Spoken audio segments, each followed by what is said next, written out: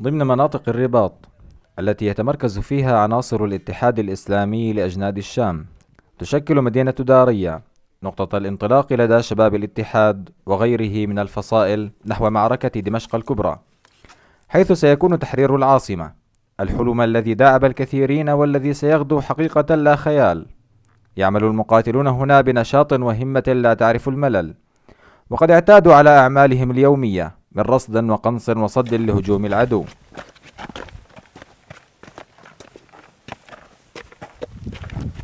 ونحن هلا هون على الجبهات قاعدين وجاهزين لأي تصعيد عسكري على المدينة أو تسلل أو اقتحام للنظام على المدينة.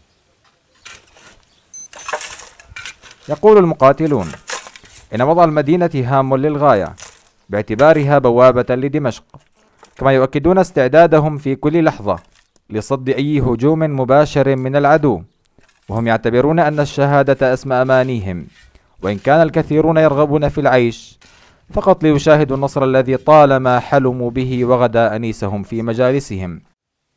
هلا بتمنى أنا أن أشوف النصر بعدين منيتين نستشهد تمر الأيام والليالي على الجبهات شاقة ومتعبة أحيانا.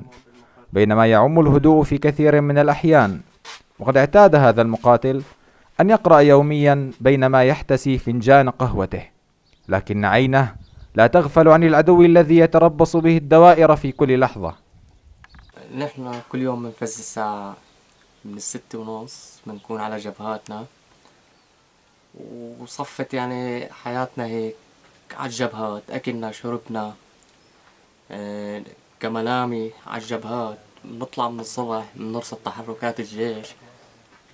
آه، يعني كل شيء بيتعلق بهالجبهة وبإذن الله نحن هون ساب يعني ثابتين إن شاء الله. ورغم الهدوء النسبي الذي تعيشه داريا يأمل المقاتلون أن أحداثا هامة ستشهدها المنطقة قريبا.